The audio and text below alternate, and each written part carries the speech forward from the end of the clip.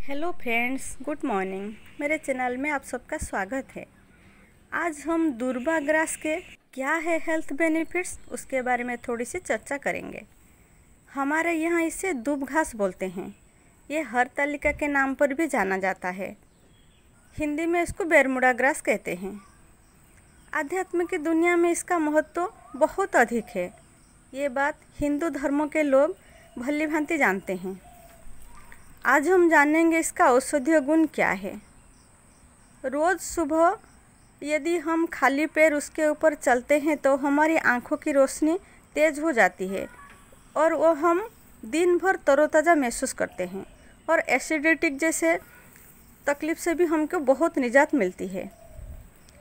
इसको पीस के इसका रस को सेवन करने से मासिक धर्म के समय जिन महिलाओं को अधिक मात्रा में ब्लीडिंग होती है उन्हें बहुत लाभ मिलता है। उल्टी जुलाब जैसा होने पर भी हमें इसमें इसका जो रस को पीने से भी बहुत फ़ायदेमंद माना जाता है। इसमें carbohydrate fibre calcium protein potassium जैसे तत्व भरपूर मात्रा में होती है। शरीर में इम्यूनिटी सिस्टम को बढ़ाने के लिए भी काम करता है।